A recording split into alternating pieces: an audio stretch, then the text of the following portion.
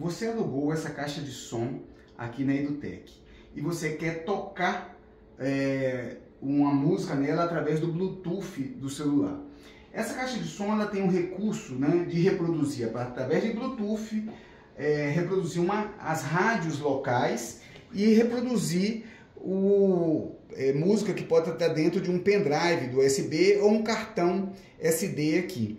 E como é que você faz, como é que você escolhe entre esses aparelhos? Através desse primeiro botão aqui. Cada vez que você aperta esse botão, ele vai trocar entre Bluetooth, rádio ou pendrive ou cartão.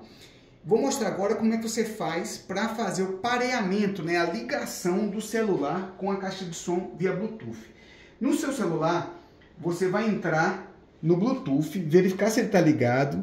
No meu, eu clico e aparece a relação de Bluetooths, né? Vou ligar a caixa de som, a caixa de som tem que estar tá ligada. E agora eu vou procurar pelo dispositivo SP259. Vou clicar em cima dele e vou fazer o emparelhar ou parear. Feito isso, já está aqui mostrando que está conectado e eu vou poder reproduzir um áudio num aplicativo. Você vai apertar aqui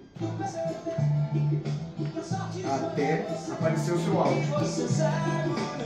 Tudo bem?